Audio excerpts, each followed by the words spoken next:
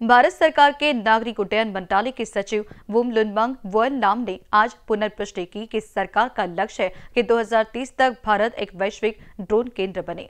FICCI seminar Bharat drone वार्ता, जिसका विषय भारत में ड्रोन के स्वदेशीकरण को बढ़ावा देना था, इसको संबोधित करते हुए नागरिक उड्डयन सचिव ने कहा की ड्रोन क्षेत्र में पीएलआई योजना का प्रभाव दिख रहा है, जिससे इस क्षेत्र में और विकास को गति मिली है। उन्होंने एफ़ से उद्योग जगत को सुझाव देने का आग्रह किया ताकि ड्रोन के लिए पीएलआई योजना का अगला चरण कार्यान्वयन, दस्तावेजीकरण और प्रक्रियाओं में अधिक कुशल हो। वल्लाम ने आगे कहा कि नागरिक और सुरक्षा क्षेत्र में ड्रोन के उपयोग में वृद्धि के साथ इस क्षेत्र में अपार संभावना है। हमें इस क्षमता को पूरी तरह से प्राप्त करने के लिए स्वदेशीकरण पर ध्यान केंद्रित करना चाहिए। मेजर जनरल सी एस मान अतिरिक्त महानिदेशक आर्मी डिज़ाइन ब्यूरो। भारतीय सेना ने रक्षा प्रौद्योगिकी विशेष रूप से ड्रोन के स्वदेशीकरण करने के महत्व पर ज़ोर दिया है, जिससे आयात कम हो सके। उन्होंने कहा कि हम एक प्रभावी ढांचा विकसित कर रहे हैं, जो बिना किसी अतिरिक्त स्तर को जोड़े, खरीद परीक्षण और मूल्यांकन प्रक्रिया को सुचारू करेगा। नया ढांचा मौजूदा कमजोरियों को यथासंभव दूर करने का लक्ष्य रखता है।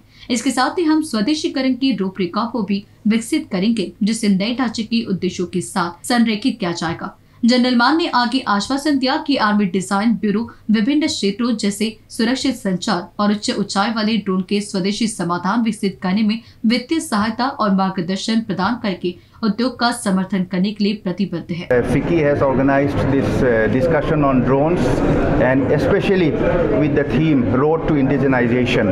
Over the last few years with the initiatives of the government of India and the uh, effort of the startups and the MSMEs, our drone sector has progressed very well and now is the right time to focus on indigenization, Atmanirbhar Bharat and I'm very happy that today we have started a discussion on that. Ideas are being shared and we will take this together and from government side when we frame our new policy when we frame the new PLI for drones we will be carrying this forward to make sure that the drone market expands and also with the Atmanirbhar Bharat being a major theme in that.